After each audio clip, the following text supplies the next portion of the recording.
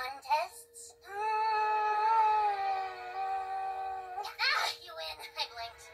There's a unicorn in my house. This is so cool! We know it's bad. Very, very bad. What have I done?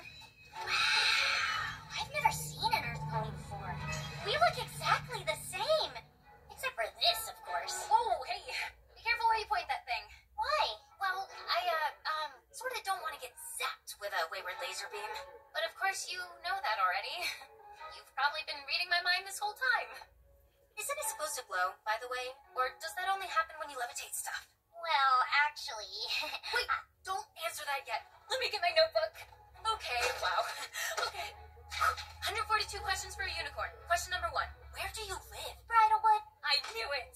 Do unicorns really live in trees? Do they eat pizza?